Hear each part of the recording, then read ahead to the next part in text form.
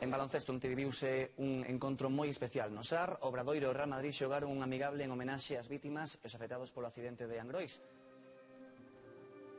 Na previa gardouse un minuto de silencio e os capitáns dos dous equipos e o presidente do honor da CB, Eduardo Portela, entregaron unha coroa a familiares das vítimas e a membros da Asociación de Veciños de Angrois.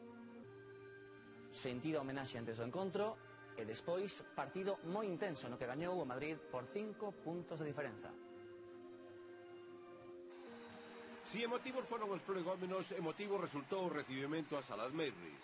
O tunecino volveu a osar como marchou, ovacionado.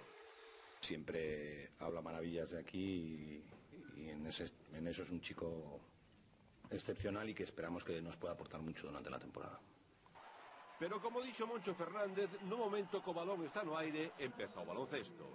Os protagonistas non escatimaron esforzos para ofrecer un gran espectáculo, sobre todo na primeira parte no Real Madrid agás Alac e Borussis os mesmos actores que gañaron a Liga.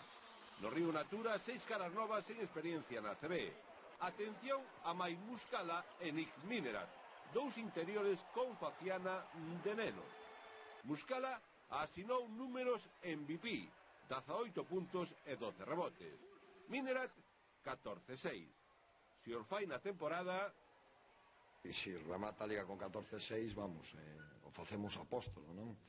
O croata Mario Delas acaba de chegar. Iñaki Sanz estivo solvente. Santopoulos lesionado non xogou. E o xamaicano Duran Scott semella que vai ter un rol moi secundario. Menos 10 de valoración en 20 minutos. Xunto a eles os bellos roqueiros. Bendiguar, Corbacho, Oriol, Pavel e Rafa Luz.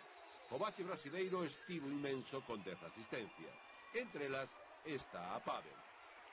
Ao final, tras un choque igualado, gañou o Madrid por 78 a 83. Pero este obra deixou grandes sensacións.